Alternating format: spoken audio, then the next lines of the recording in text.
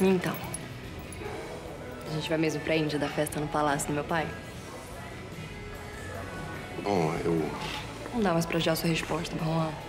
Você quer ir ou não quer? O que foi? É que. Tem uma coisa que eu preciso te contar. Não dá mais pra deixar guardado dentro de uma gaveta. E o que é?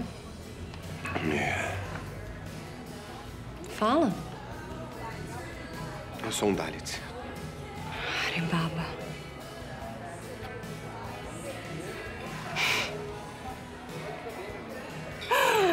Eu já sabia, seu bobo. Sabia como? Sou uma indiana, esqueceu? Pelo visto, mais indiana que você, né? Eu ainda consigo reconhecer quando tem uma casta, uma falta de casta. Mesmo quando se camufla. Ari, Eu não dou a mínima pra essa história de Dalit.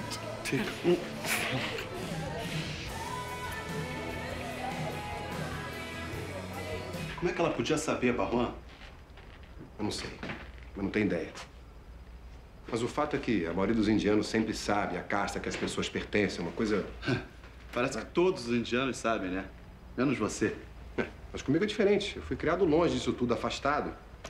Essas coisas só se aprende ali, no dia a dia, no cotidiano, vivendo isso. Ela também foi criada fora da Índia, Barruan.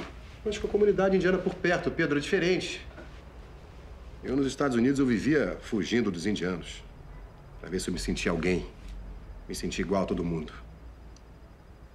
Mas o meu Baldi vai gostar de saber disso. E a Maia? Alô? Baldi? Barruan, como é que você está, meu filho? Ah, e você vem? Tic, tic, é. Não, é, não, entendo, claro que eu entendo. Eu vou ficar hospedado num palácio, Baldi. O senhor imagina como Rajananda ou qualquer outro indiano gostaria de estar lá? Hã? Cuidado com Mara, Barruan. Mara. Cuidado. Ele é o demônio das ilusões e é pai de três filhas: a volúpia, a cobiça e a inquietação.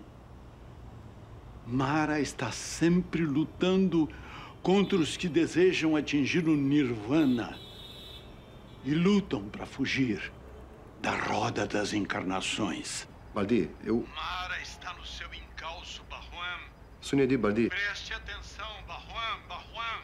Me escute, Baldi. Eu. Eu sei, eu sei, eu sei. É claro que eu entendo o que isso significa, mas espero que você também entenda o que eu estou falando. Barruan, é natural que você fique alegre, feliz por ter sido convidado para uma festa muito bonita. É natural que você fique alegre e feliz porque uma moça muito bonita está gostando de você. Mas é, é isso que eu estou dizendo, Baldi. É isso que eu estou fazendo. É o que você está dizendo, mas não é o que você está fazendo, Barruan.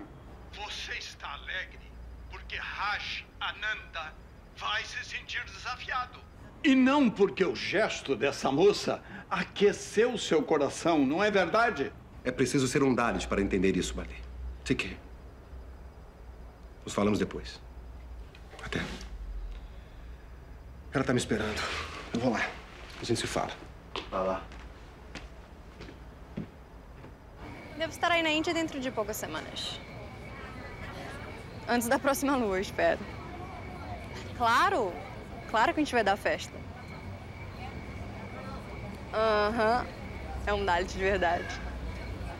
Tô te falando. Ele tá chegando. Vai, vai.